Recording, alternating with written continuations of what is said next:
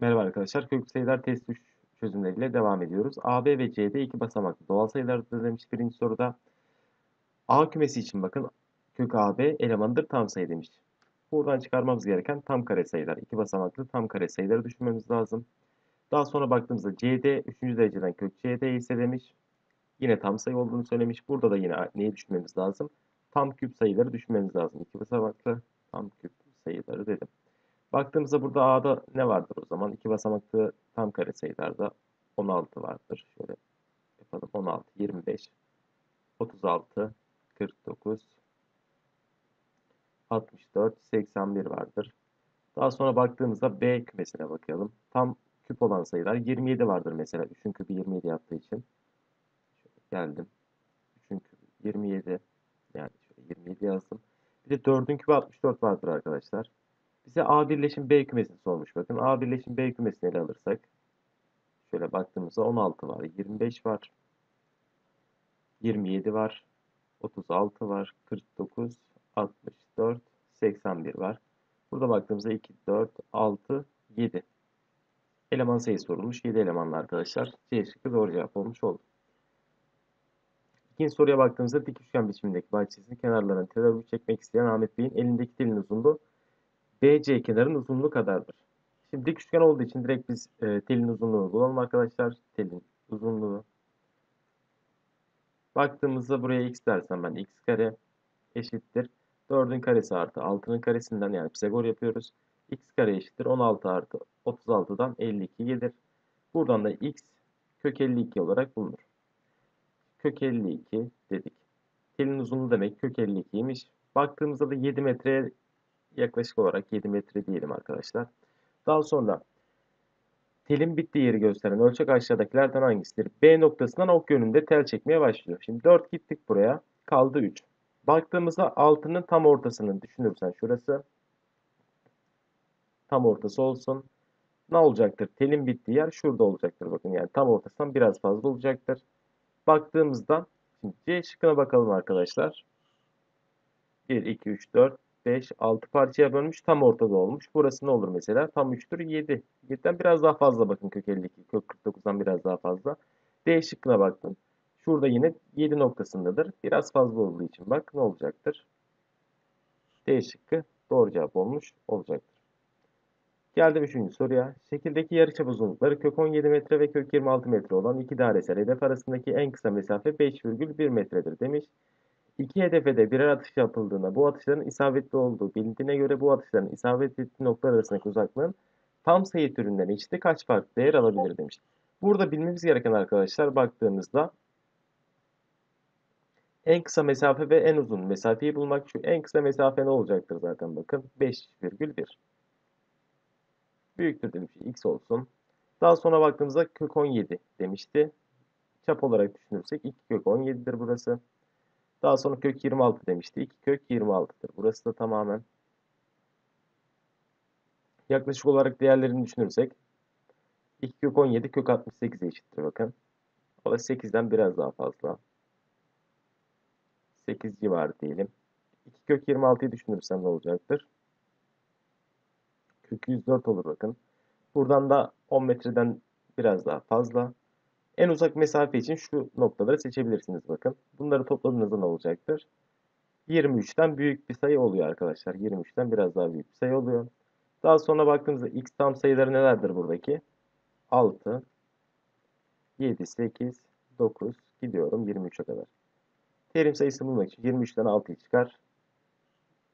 17, bir ekle. 18 tane tam sayı değeri olarak bulunmuş oluyor. Geldim dördüncü soruya. Durduğunda x metre kayan bir arabanın v hızını bulabilmek için v eşittir bakın. Nasıl bir bağıntı var? Kök içinde 20 çarpı f çarpı x formülü kullanılmaktadır. F sayısı yolun sürtünme kat sayısı olduğunu söylemiş. Saniyede hızı 10 metre olan bir araç 4 metre kayarak durmuştur. Aynı yolda başka bir araç durmaya çalıştığında 2 metre kaydığına göre bu aracın saniyede hızının yaklaşık değeri kaç metredir diye sormuş bize. İlk önce arkadaşlar verilenden bakın. Saniyede hızı 10 metre olan bir araç 4 metre kayarak. X metre kaymıştı. Şöyle diyelim. Saniyede hızı 10 metre eşittir dedi. kök içinde 20 çarpı sürtünme katsayısını bilmiyoruz. Bunu bulmamız lazım. F çarpı x'e 4 bakın. Daha sonra her iki tarafın karesini alırsak eğer ne gelecektir? 100 eşittir. 80 f gelir bakın. F'i yalnız bırakırsam f eşittir 100 bölü 80 gitti. Sadeleştirirsek onu 2'ye böldüm. 5, 8'i 2'ye böldüm 4. F eşittir 5 bölü 4 olarak bulundu. Şimdi bize sorulan bakın arkadaşlar. 2 metre kaydından V eşittir dedim. Kök içinde 20 çarpı F'i 5 bölü 4 olarak bulmuştuk. X de 2 olarak vermiş. Bu işlemleri yaptığımızda V ne gelecektir bakalım. 100, 250 olarak gelir bakın arkadaşlar. Kök 50 olarak gelir işlemi yaptığımızda. Yaklaşık olarak da bakın 7 eşittir. Kök 49 7. D şıkkı doğru cevap olmuş oldu. Beşinci soruya baktığımızda kök içinde kök verilmiş arkadaşlar. Burada derecelere bakalım. 2, 2. 2 ile 2'yi çarparsak 4. dereceden içeriye de 3 üzeri 2 olarak girecek. Bir de 27 var arkadaşlar. 27 nedir? 3 üzeri 3'tür. Toparlama yaparsak 3 üzeri a'ya eşitleyelim. Daha sonra 2 ile 3'ü topladım 5. 4. dereceden kök 3 üzeri 5. O da üstü sayıya çevirirsem 3 üzeri 5 bölü 4 olarak gelecek karşımıza. Eşittir 3 üzeri a dedim. Üst sayılarda tabanları eşitse kuvvetler birbirine eşit olmak zorunda. Buradan a eşittir. 5 bölü 4 olarak bulunmuş oldu. Altıncı soruya baktığımızda iki irrasyonel sayının çarpımı bir rasyonel sayı ise bu ilk sayıda her birine diğerinin eşleniği denir. Şimdi burada arkadaşlar baktığımızda iki irrasyonel sayıyı çarpıp rasyonel sayı elde ediyorsak eşlenik durumunda olduğunu söyleyebiliriz. Birinci önceliğe baktığımızda 2 kök 2 artı 1 ile şurası 2 kök 2 eksi 1'dir. Çarptığımızda rasyonel sayı gelecektir. 2 ve 3. öncede baktığımızda çarpıp işlem yaptığımızda bir e, rasyonel sayı bulamıyoruz. Bundan dolayı 2 ve 3 gitti. Yalnız bir doğru cevap olmuş oldu. Hatta birinci cevap bakın. kök 2 ile 2 kök 2 çarparsam 8. 8 eksi 1'den 7 olarak bulunur. Rasyonel sayı çıkar. 1. 1'deki verilenler eşlenik durumunda olduğunu söyleyebiliriz. Geldim 7. soruya. Kök 63 eksi kök 18. Şimdi bakalım arkadaşlar.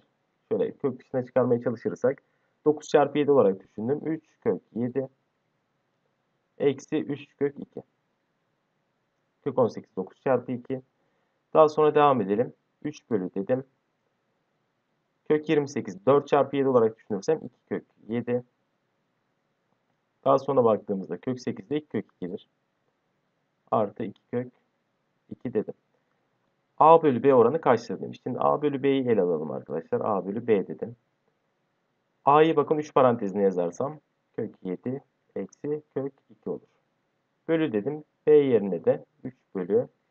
Altındakini de 2 parantezine alalım. Kök 7 artı kök 2 olarak geldi. 3'ler bakın burada sadeleşir. Daha sonra baktığımızda ters çevirip çarparsak ne olacaktır? 2 çarpı kök 7 artı kök 2 çarpı kök 7 eksi kök 2. Eşlenik durumda bakın şu ifadeler. Kök 7'nin karesini aldım 7. Kök 2 ile kök 2 çarptık 2. 7 eksi 2'den 5 gelir. 2 çarpı 5'ten cevabımız 10 olarak bulunmuş olur.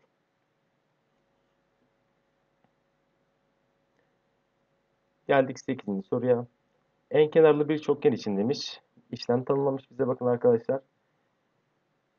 A sayısı varsa içinde kaç kenarlıysa o kadar bir artırarak gidiyoruz. Örnek vermiş mesela altıgen içinde 3 varsa 3, 4, 5, 6, 7, 8 olarak gidiyoruz. Daha sonra şurada baktığımızda ilk önce sayıyı yazalım. Beşgen içinde 3 kök 3 eksi 2 var. Kök 3 eksi 2. Arttırarak gidelim bakalım. 1 arttırırsak kök 3 eksi 1 olur. 1 arttırdım kök 3 oldu. Çarpı 1 arttırırsak kök 3 artı 1. 1 arttırdım kök 3 artı 2 oldu bakın. Bölü dedim. Üçgen içinde kök 2 eksi 1 var. Kök 2 eksi 1 yazdım. 1 arttırdım. Kök 2. 1 de artırsak arkadaşlar kök 2 artı 1 olarak gelecek.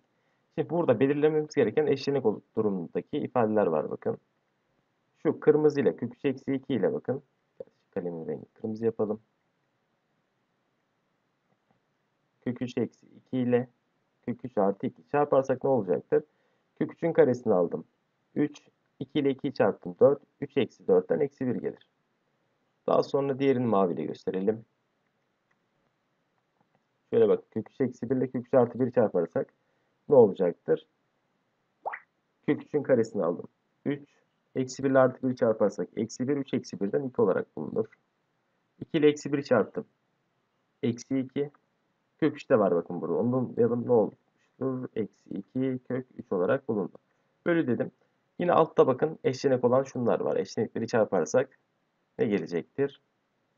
Baktığımızda kök 2 eksi 1 ile kök 2 artı 1 çarparsak kök 2'nin karesi 2. Eksi 1 ile artı 1 eksi 1. 2 eksi 1'den 1 olarak gelir. Buradan cevap bakın arkadaşlar. Bir de pardon kök 2'yi de unutmayalım. Kök 2 de var.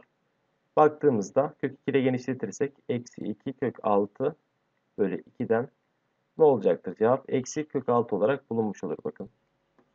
Şu kök 2'yi de unutmayalım. Daha sonra geçelim 9. soruya. x bir pozitif gerçel sayıdır demiş. Pozitif sayı olduğunu söylemiş. Yukarıdaki tabloda sütundaki sayıların çarpımı satırdaki sayıların çarpımına eşit olduğunu söylemiş arkadaşlar bize. Şimdi buradan ele alacak olursak o zaman satırların çarpımı sütunların çarpımına eşit olduğu için bir bakalım ne olacaktır. x kare çarpı kök 2 çarpı kök 3 eşittir dedim. Üçüncü dereceden kök 3 çarpı kök 2 çarpı üçüncü dereceden kök 3 oldu bakın. Kökler ortak olduğu için sadeleştirdim. Daha sonra baktığımızda x kare. x kareyi yalnız bırakalım. Üçüncü dereceden kök 3 üçüncü dereceden kök 3 çarparsa arkadaşlar. Üçüncü dereceden 3 üzeri 2 olur bakın. Bölü kök 3 var bir de. Burada ne yapabiliriz başka? 3 sayıya çevirebiliriz. 3 üzeri 2 bölü 3 gelir bakın. Bölü 3 üzeri 1 bölü 2. Üstleri çıkardığımızda ise x kare eşittir. Ne olacaktır? 3 üzeri 2 bölü 3 eksi 1 bölü 2'den 3 üzeri 1 bölü 6 yapar. X kare 3 üzeri 1 bölü 6 ise arkadaşlar buradan ne yapabiliriz? x kök içine alsak her iki tarafı. Şöyle kök içine alalım. Hatta solda gösterelim onu. Şöyle sola geldim. x kare eşittir dedim. 3 üzeri 1 bölü 6'yı da bakın. Her iki tarafı kök içine aldığımızda kare ile kare kök götürdü. x eşittir. Şöyle derecem 2. 3 üzeri 1 bölü 6 geldi. Bu bakın buradaki e, kuvvetteki paydayı ben çarpım olarak atarsam başa ne olacaktır? 12 ile 6 çarpım 12. dereceden 3 üzeri 1 olarak bulunur. Yani E şıkkı doğru cevap olmuş oldu.